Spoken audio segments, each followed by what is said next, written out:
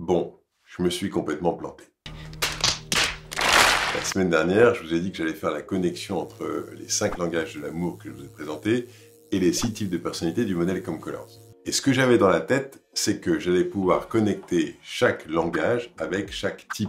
En disant par exemple, le langage de l'amour qui est les services rendus est connecté à telle couleur. Et comme ça, j'aurais pu me dire, qu'il y avait une connexion et que par exemple tel type de personnalité aimait se sentir aimé de telle façon. Bon, ça marche pas. En revanche, j'ai trouvé d'autres choses intéressantes qui permettent d'expliquer la connexion qu'il peut y avoir entre les langages de l'amour et les six types de personnalités du modèle Comcolors. Alors comment j'ai fait? Bah c'est tout simple. Je me suis adressé aux 350 formateurs certifiés au modèle Comcolors et c'est donc des personnes expertes qui connaissent parfaitement le modèle et je leur ai envoyé un questionnaire en leur demandant de me dire comment ils incarnaient chacun des langages de l'amour. Puisque tu as compris, à travers la précédente vidéo, que nous offrons aux autres ce que nous avons envie de recevoir. Donc je me suis dit, si je leur demande comment ils donnent les cinq langages de l'amour, je vais découvrir comment les types de personnalités aiment recevoir chaque langage avec toujours dans l'idée de me dire, je vais sûrement réussir à voir que les types bleus, ils aiment bien être aimés comme ça, etc. Et en fait, c'est pas ça que j'ai obtenu. Mais j'ai obtenu des choses super intéressantes. Alors d'abord, je voudrais remercier tous ces formateurs puisqu'en une semaine, j'ai eu 109 réponses, ce qui est extraordinaire. Il y avait beaucoup d'informations à trier pour faire émerger justement quelque chose de pertinent. Donc, on va regarder comment ça s'incarne et tu vas découvrir comment tu peux, si tu connais la couleur de ton partenaire, de ton conjoint, comment tu peux lui dire que tu l'aimes de façon extrêmement explicite, précise, touchante pour l'autre. Allez, je vais commencer par les deux langages de l'amour qui n'ont pas de connexion particulière avec les types de personnalités. C'est le toucher physique et les moments de qualité. le toucher physique, j'ai fait cette enquête et tout le monde répond la même chose. Il n'y a pas de différence entre les types de personnalités. Enfin, en gros, voilà, du grand classique, pas de nuance d'un type de personnalité à l'autre. Pour les moments de qualité, c'est pareil. Aucune différence de réponse entre un type bleu, un type jaune, un type rouge. Tout le monde répond à peu près la même chose. Donc on va aller maintenant voir justement là où on voit les différences. Je vais commencer avec le type rouge. Le cadeau qui est spécifique et que j'ai pas trouvé dans les autres couleurs, c'est l'argent. Offrir de l'argent. L'argent permet en fait de faire des choses. Et les types rouges aiment faire. Et donc du coup, recevoir ce cadeau ou donner ce cadeau, c'est vraiment ce qui va le mettre en action. Dans les services rendus, ce que le type rouge va aimer, c'est faire bouger les choses. C'est-à-dire rendre un service qui fait avancer, qui fait bouger les choses. C'est également, par exemple, faire des choses que l'autre n'aime pas faire. En gros, c'est d'être proactif. Donc, c'est pas tellement le sujet en lui-même, c'est de dire, allez, l'autre rencontre telle difficulté, je vais être proactif et proposer quelque chose qui va faire avancer les choses pour lui. Ce qui fait bien sûr la différence, et tu l'as compris, ce sont les paroles valorisantes. Alors là, il y a des choses très spécifiques pour le type rouge.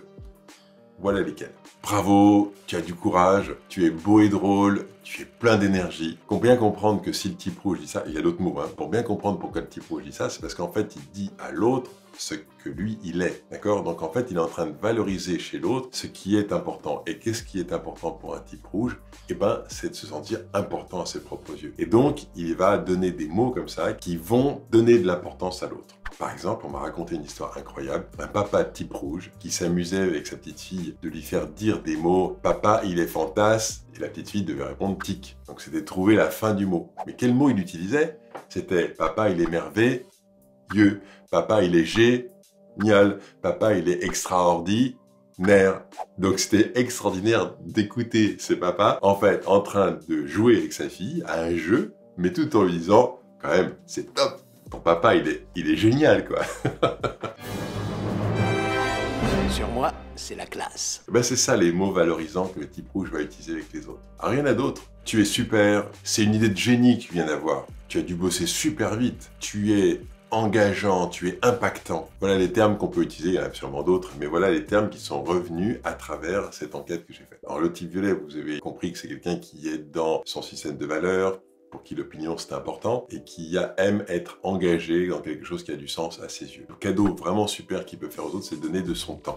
Le temps est sans importance, seule la vie est importante. Dans les services rendus, ça va être surtout d'aider l'autre dans des tâches dans lesquelles il se sent compétent, dans lesquelles il va pouvoir apporter une valeur. Et l'aide, elle peut être manuelle, elle peut être intellectuelle, elle peut être dans l'apaisement.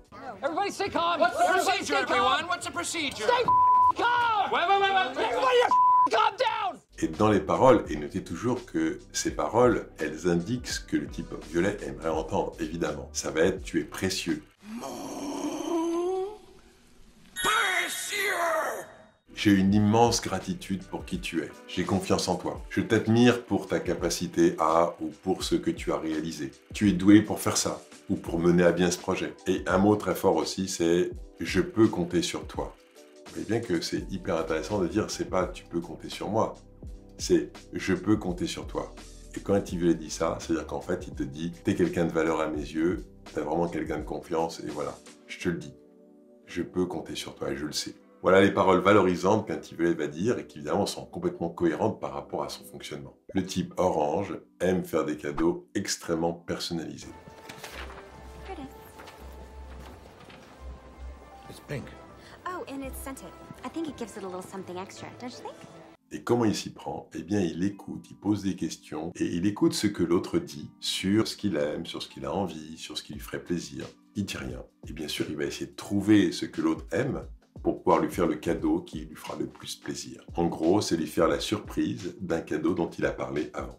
Dans les services rendus, le type orange va apporter son aide, se plier en quatre aider l'autre. Il va essayer de soulager l'autre, de conseiller l'autre. Il va proposer son réseau. Pourquoi? Parce qu'en fait, c'est une façon de rendre service à l'autre. Si par exemple l'autre est en difficulté sur tel sujet, il dit Ah, je connais quelqu'un et il va mettre cette personne en réseau pour que la solution se trouve, pour qu'on puisse aider l'autre à travers les connaissances qu'il peut avoir. Mais surtout, pour le type orange, c'est être présent à l'autre pour quoi que ce soit. Les paroles valorisantes incarnent parfaitement le type orange qui est quelqu'un qui est dans le lien, qui a besoin de, justement maintenir ce lien, entretenir ce lien avec l'autre, besoin de se sentir apprécié, mais également de dire à l'autre comment il l'apprécie. Mais voilà les paroles à utiliser si tu vis avec quelqu'un de type orange.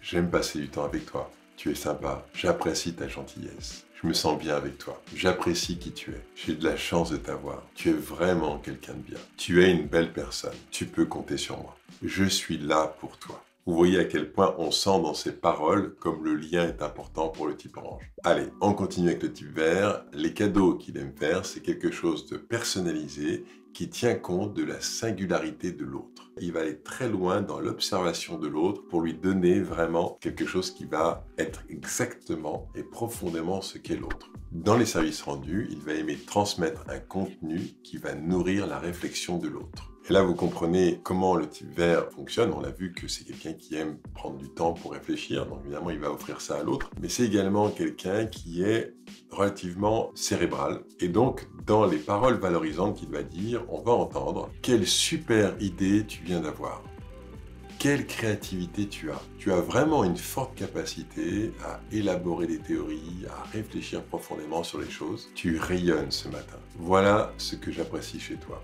Dans ce qu'il va dire de ce qu'il apprécie, il va indiquer toutes les observations fines qu'il a eues sur l'autre, puisqu'un type vert observe énormément. Donc vous voyez qu'un type vert va surtout valoriser finalement le process mental interne de l'autre puisque c'est ce qu'il aime chez lui, évidemment. On continue avec le type jaune qui aime faire des cadeaux qui sortent du cadre. Évidemment, puisque lui-même a horreur d'être dans le cadre, il va sortir du cadre. Donc, faire un cadeau qui est pas un anniversaire, pas un Noël, pas une fête, c'est mieux. Il va également penser faire un cadeau à l'autre qui lui fait plaisir, mais qui lui fait plaisir un peu aussi à lui. Ah Un cadeau qui fasse rire, qui fasse sourire. Également un cadeau qu'il a trouvé par hasard. Dans les services rendus, le type jaune va aimer partager ses bons tuyaux. C'est pas une raison parce que je donne à tout le monde des bons tuyaux que je mérite pas un peu d'amour. T'as raison, Iggy, je t'aime. C'est quelqu'un également, quand il fait les courses, il rajoute des petites goodies dans, la, dans, le, dans les courses pour dire allez, c'est fun. Il va également aimer aider spontanément quand ça se présente. Il va aimer distraire l'autre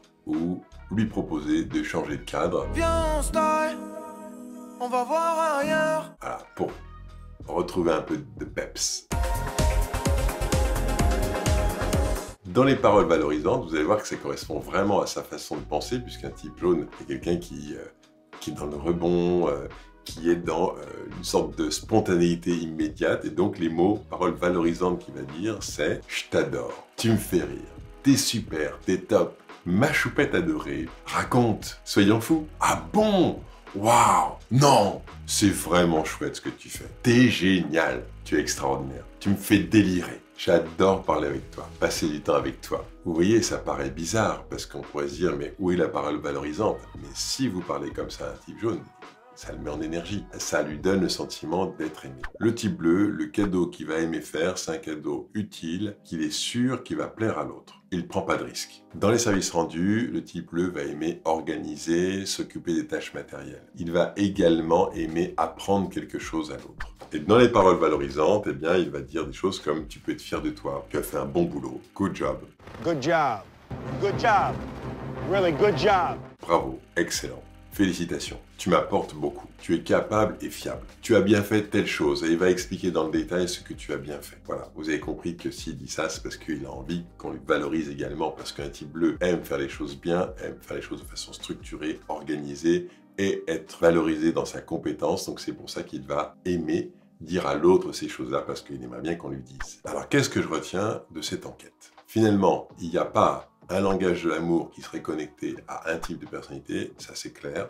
En revanche, pour les cadeaux, les services rendus et les paroles valorisantes, et surtout pour les paroles valorisantes, il y a une vraie différence d'expression d'une personne à l'autre. Et que si on en reste juste à dire une parole valorisante à l'autre, eh bien, il y a peu de chances qu'on ait d'impact si ça ne correspond pas à son type de personnalité. Donc ça veut dire que de la même manière que nous offrons les langages de l'amour aux autres qu'on aimerait recevoir pour soi, eh bien nous offrons des paroles spécifiques aux autres qui sont liées à notre type de personnalité. En fait, on dit aux autres ce qu'on aimerait que les autres nous disent. Et donc là, on fait une connexion directe entre les filtres de perception, qui est un concept du modèle Colors, et les langages de l'amour. Et la bonne nouvelle, c'est que tu vas pouvoir appliquer ça avec ton partenaire de vie, mais que tu vas pouvoir appliquer ça avec qui tu veux. Que ce soit des amis, que ce soit des collègues, que ce soit des collaborateurs. Si tu veux avoir plus d'impact dans ta façon de parler, utilise la façon de parler liée à chaque type de personnalité pour te faire entendre et pour toucher l'autre, pour qu'il se sente apprécié dans ta façon de lui parler. Si tu as envie d'améliorer tes relations, eh bien, je t'invite à t'abonner à cette chaîne YouTube.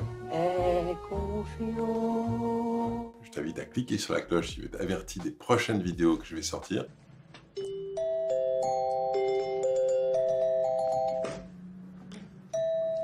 globalement, c'est ça dont je vais parler dans pratiquement toutes les vidéos que je vais faire. Si tu as aimé cette vidéo, n'hésite pas à liker, ça me fera très plaisir. Et je te donne rendez-vous pour une prochaine vidéo la semaine prochaine. А? Направление? Какое направление?